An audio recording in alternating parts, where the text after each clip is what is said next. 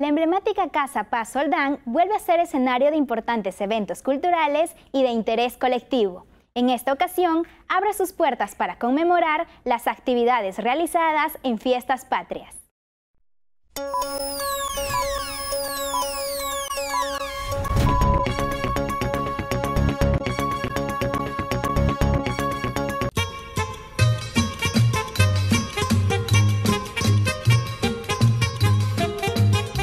Con el objetivo de celebrar la independencia de nuestro país, la Casa Pasoldán presenta la exposición fotográfica Julio de Tradiciones y Costumbres por Fiestas Patrias.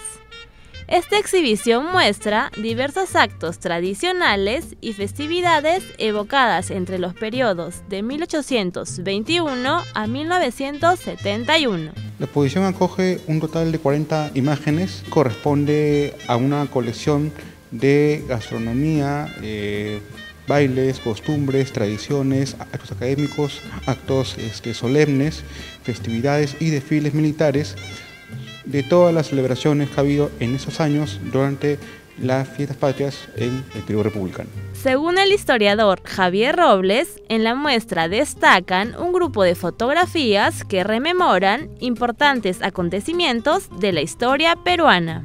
En primer lugar, la exposición sobre el centenario de la independencia, hablamos de, julio de 1921, cuando el Perú celebró sus 100 años de vida, republicana con el gobierno de Augusto Leguía.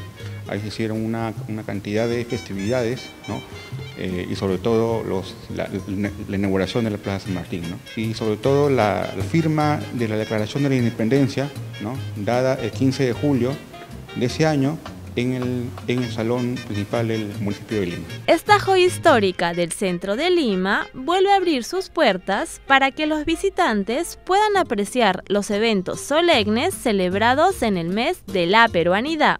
La casa está abierta para en esta muestra durante todo el mes de julio, ¿no? Eh, de lunes a viernes de 9 de la mañana a 5 de la tarde.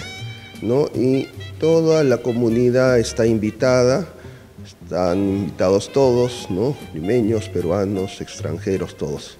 En este mes patrio no te puedes perder la exposición fotográfica de la Casa Paz Soldán, donde conocerás las tradiciones y costumbres de nuestro país. Con cámara de Mauro Vegoso informó Alejandra Díaz para USIL TV.